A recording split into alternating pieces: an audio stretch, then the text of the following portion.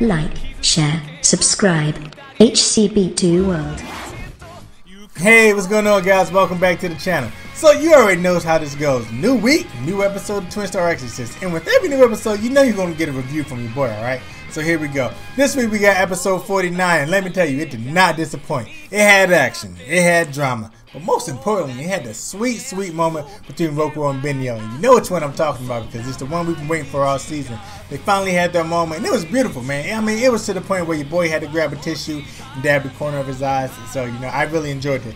Um, the episode in whole, it was a great episode. I loved everything about it. So, you know, let's jump into this thing. Now, it starts us off, and you got Roku who's trying to free Benio. And, you know, he couldn't have got there by himself. Everybody made sacrifices, and as they sacrificed themselves, they also gave him a talisman to push him forward. We learned this episode that those guys survived, so that was definitely one thing I was happy about. And I was happy that, you know, Roku finally made its way there because honestly, I didn't think he was going to make it, but he made it. So as Roku gets there, he uses a talisman that he got from Tsuchimikado called a, a spell disabling talisman. Unfortunately, that talisman doesn't work and it seems like Roku was out of options. Luckily for him, Benio being the smart girl that she is, she actually left him an option without him even knowing. That option ended up being her hairpin. Now, with her hairpin, um, what Benio did was she realized that Abe no Seimei had been hanging out in the cocoon this whole time, and knowing that she was submitting herself to her, to him, um, she figured that she'd probably be placed in one as well. So to kind of give Rokuro a way to get her out, what she did was she took her spell power and she connected the two hairpins. So she kept one for herself and had Hanako give the other one to Rokuro. By doing that, the string that her spell power creates leaves a little tiny, tiny hole in the cocoon, and hopefully she's counting on Rokuro to get her out using that. Now, not only did he get that talisman from Tsuchimikado, one another thing he got from Tsuchimikado was um, Tsuchimikado's actual spell power. And if you remember when Seigen gave him a talisman, Seigen told him, with this talisman and Tsuchimikado's power, you should be able to use it. So Rokuro goes ahead and he uses Seigen's um, talisman and it actually gives him Seigen's tiger arm that he always uses. And with that, he's able to kind of pry open the hole a little bit and get Benio out of there. Now, as Rokuro's freeing Benio, you got Abe no Seimei being stalled by Tsuchimikado. Now, for me, Tsuchimikado's got to be like the MVP of this whole arc or everything that's going on right now. Because despite not having spell power, he's actually been stepping up time and time again, alright?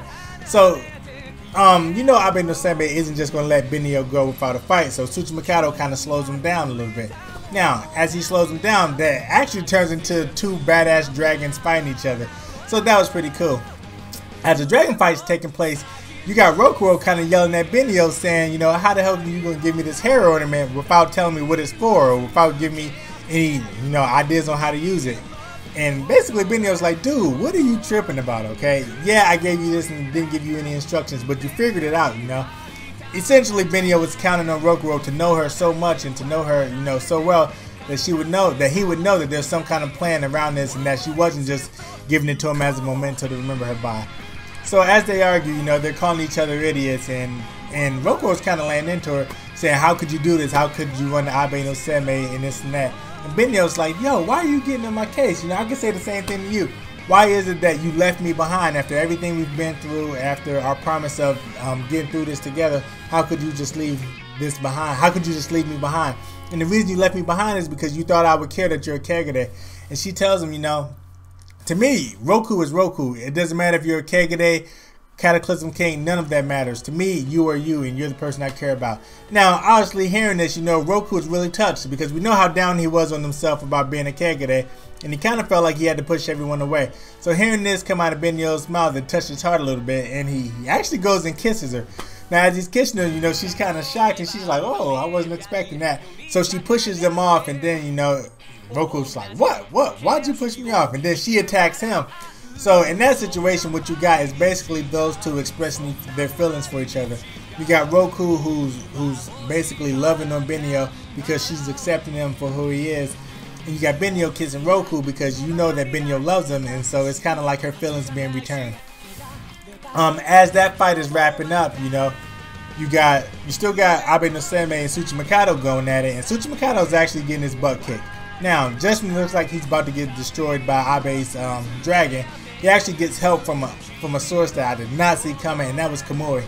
Now, if you don't know who Kamui is, he actually plays a major role in the manga, but in the anime, it seems like they lessen his role quite a bit. But he's actually the guy who gives Benio her legs after uh, after she loses them. So, you know, he comes and he, he steps in to face Abe no Seimei. And Abe no Seimei is like, oh, so you came to save Tsuchimikado. And Tsuchimikado's like, no, dude, he, he's not here to save me. He basically just wants to fight you because he enjoys fighting strong people. So as they're fighting, you know, he starts to get his butt kicked a little bit too. So now that we got the whole Benio and Rokuro situation out of the way, they turn their attention to Abe no Seimei, who at this point has already taken care of Tsuchimikado and uh, Kamui. Now, Kamui, being the, the basara that he is, you know, he loves fighting, so he's, he's going to keep going after Abe. So he attacks Abe with a kick, and Abe no Seimei just blocks it with one finger. But not only does he block it, he actually flicks flicks this guy over the. He actually flicks him over the edge. Now, as he's falling over the edge, he tells Benio and Rokuro to have fun, basically alluding to seeing them again. So I don't know if that's maybe kind of telling us that there's going to be another season or that that's more to this season. I don't know. I'm assuming that there's 50 episodes, so for now I'm going to stick with that. So now with everyone else out of the way, the only ones who can stop Abe no Seimei is uh, Benio and Rokuro. Unfortunately though, it looks like the crystal that was hanging over the Abe no, Ame no Mihashira is actually starting to open up. And so now they find out that this crystal is opening up and, you know, it needs to be stopped. As the crystal opens up, Abe no Seimei tells them that it's going to be shooting out something called the the, uh, the nectar of kindness, which it sounded silly as shit to me, you know, nectar of kindness, but I understand why he says that. No, with this nectar of kindness, it's supposed to only trap yin energy. I mean, yin energy, only trap yang energy within people, um, eliminating the existence of yin energy. And with no yin energy, you know, there can be no kagure. So as he's as he's saying this, he tells he tells Benio and that basically there's no reason for them to fight him because one, they're one of the chosen ones, and two, they can't win anyway. So Rokuro argues with him, you know, he's saying not all are bad. Like, why are you saying all are bad?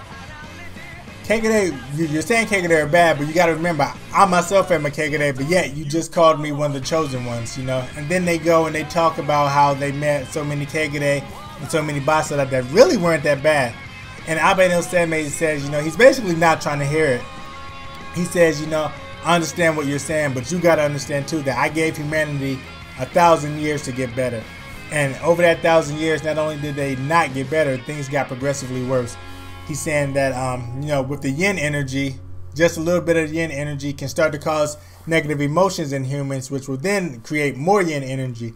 He says, and he also goes on to say, on top of that, you know, um, you got to realize how bad things have gotten. The Cataclysm King only should have been awakened once it reached a certain amount of yin energy. Now, the fact that it reached that amount proves that humanity really isn't worthy of continuing the way it has continued. Now, in order to kind of pacify that and make things right, I'm going to create a world where there's nothing but happiness, even if it means taking away human beings, you know, um, right of self and human beings' ability to, to be who they want to be. Now, obviously, Benio and Rokuro can't let this ride. You know, there's too much at stake. They can't let they can't let Abe no Seimei create a world where people don't have free will and people don't have choice. You know, it eliminates things like falling in love or just actually just being who you are. So they kind of they join hands and they go to create resonance. As they try to create resonance, um, Abe no Seimei quickly wraps them up in these tree branches and they start to get constricted. As they're being constricted, Benio starts to scream out and Abe no Seimei basically tells her to shut up. As he tells her to shut up, the tree that's wrapped around her tightens even more and more and she screams louder and louder.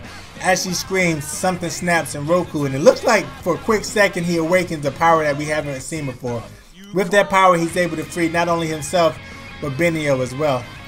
So I'm really curious to see what that turns into, or if that might become some new power next episode that we haven't seen. Now we grant we know that there's the power of Yang and there's the power of Yin. So maybe is this some kind of like love power? I don't know. But um, as they as they finally get free, they connect hands, they do resonance, and they try to stop this crystal from expanding. Because once all the petals from the crystal fall, you know, that's when everything's gonna go to shit. So as they're trying to hold it off, they're re they're re they're going back through their memories together, you know, how they first met, some of the things they've been through, their vow to get stronger together. their raising of Sai, the people they met, the Basara they met, and just all the experiences that they had, you know. So it's really touching. And while watching that, you can see what kind of bond they actually have. You can see how much they feel for each other and how these two years have actually brought them closer than ever. So they know if they can't stop this thing, you know, all that's going to be wiped away. Those memories will cease to exist and they won't be anything like they are now. So as that's going on, you know, it gets to the point where it looks like they actually might be able to stop it, but Abe no Seimei, he's so strong that it, it, doesn't last long. You see like the last petal start to dip, and that's kind of where the episode ends. Um, in terms of this episode itself, I loved it. I definitely loved the parts with the uh, dragons fighting each other. I thought that was really cool. I thought it was pretty funny that uh, Benio said that that was her first kiss and it wasn't romantic like she expected it to be, you know, because obviously every girl wants their first kiss to be romantic. I mean, I'm not a chick, but I imagine that's what you guys want. So, you know, she said that, but it actually was. It actually was kind of romantic because if you watch the background, you know, you see the flames of the two dragons kind of colliding and creating these cool colors, which kind of look like fireworks. So even though she said she didn't get a romantic first kiss, I kind of feel like she did get a romantic first kiss. Um, Another thing that was pretty curious, one of you guys called out that Kamui was going to show up. It was either one or two you guys said something about it. So that was definitely a good call on that, you know. Definitely a good call on that. I really hate how unstoppable Abe no Seimei seems like he is. I'm sure there's going to be some kind of loophole, some kind of way to stop him. But at this point, man, if he's blocking attacks of like powerful Basara with just one finger, like how can they stop this dude? I don't like the fact that he looks like a Sting knockoff from Fairy Tail. If you haven't seen Fairy Tail, just Google real quick Fairy Tail Sting.